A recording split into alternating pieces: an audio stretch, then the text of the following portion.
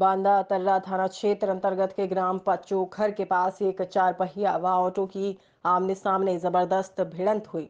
दोनों वाहनों में सवार लगभग आधा दर्जन से अधिक लोग घायल होने की जानकारी मिली तो वहीं तीन की हालत ज़्यादा गंभीर होने पर सामुदायिक स्वास्थ्य केंद्र अतर्रा के सामुदायिक स्वास्थ्य केंद्र अतर्रा से बाना रेफर किया गया है। घटना की जानकारी के बाद मौके पर पहुँची पुलिस।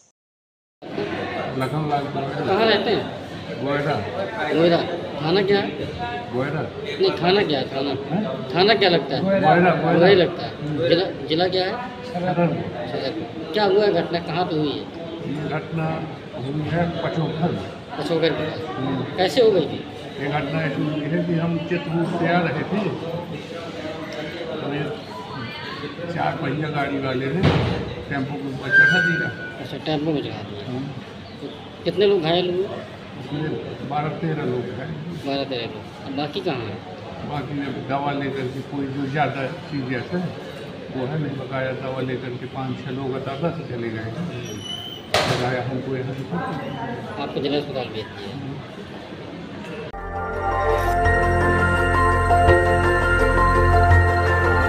देखते रहिए डीवी भारती समाचार। नज़र हर खबर पर।